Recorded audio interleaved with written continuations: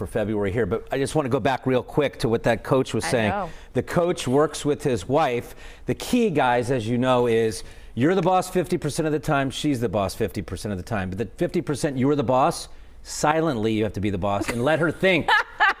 you got to let her think she's the boss too. That- Okay. So there you go. You got to write a book about this. I'm going to. He couldn't let it go. I knew it. That's why I paused because I knew. For a minute, I've been thinking about that.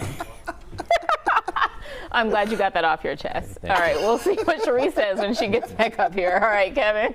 Well, you know what? Heading into the weekend, I was just gonna say they can keep all of that stuff. The snow, the below Oh, I thought you were is- talking about the 50-50. They can keep all of that. I'm not even diving into that. You know what? I'm, I'm not even getting into any of that. I'm just going to steer clear. I'm going to move right on into the forecast on that one.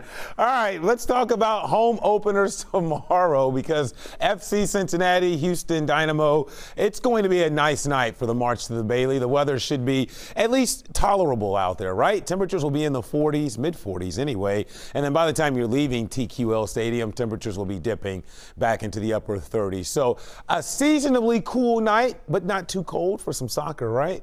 Tonight, though, is going to be cold. We're headed down to around 30 by morning. Now, the good news is that this is about as bad as it's going to get in this cold spell here because moving forward, Sunshine returns for the weekend. Milder temperatures are coming before some rain moves in here on Monday. So, not much to worry about this evening or tonight. First thing tomorrow morning, there is a sprinkle, shower, flurry chance. It won't amount to much of anything. So, if you see any of that, you have to be up early tomorrow morning. Otherwise, Sunday is quiet. And then I think we've got a decent round of rain and wind. The next potent storm system moves in here on Monday with a round of rain and wind right now. So it's back to spring for us as we head into the weekend. We're into the 50s on Saturday and then mid to upper 50s on Sunday. Look at Monday, upper 60s, and look how we stay mild going into much of next week. This is a beautiful sunset out here this evening. We've got those high, thin cirrus clouds, so that means if you head out here shortly, you should catch quite a few different hues of orange and yellow and pink and red out there in that sunset as it gets ready to go down for a cold night. Compared to 24 hours ago, we're running about 27 degrees colder outside. We're in the 40s now. We're going to be in the 30s probably within the next hour with those mostly clear skies.